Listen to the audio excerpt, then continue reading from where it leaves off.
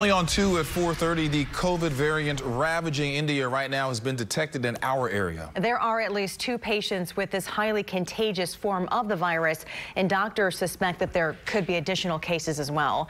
Houston's only full-time TV health reporter Haley Hernandez back now with this warning from doctors about the new strain found in our area. Haley? Yeah, UTMB says they have detected the B1617 in two patients. So far, they're the only ones that are officially saying that they have seen it, but they have have a warning that it is extremely contagious and could threaten the lives of those who are not vaccinated.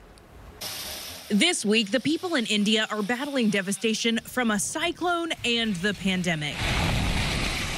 The strain of the coronavirus there is killing people by the thousands. Dr. Janak Patel from UTMB says hardly anyone with family there hasn't felt tremendous loss from the uncontrolled spread. There was a time early on when the vaccination effort began, when the uh, COVID case numbers were low, that people were reluctant to get a vaccination.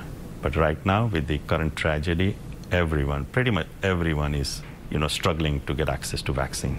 Here in our area, access to a vaccine is not hard to come by. There's hardly any wait or appointment needed, and you never have to pay.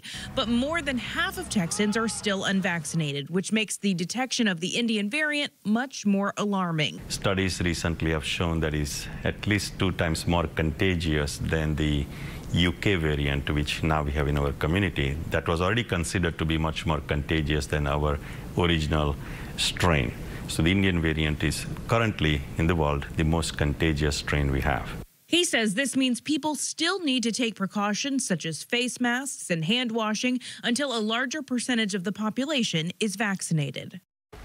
And Dr. Patel says his colleagues at UTMB have discovered something really amazing. COVID-19 antibodies from the Pfizer vaccine remain highly active against the California and New York variants. So while they have not determined if the same is true with the Indian variant, this is a promising discovery that the vaccines might be a good match against mutations, meaning even if you have breakthrough cases, you might not get as severely sick no matter which mutation that you come in contact with. Keith? All right.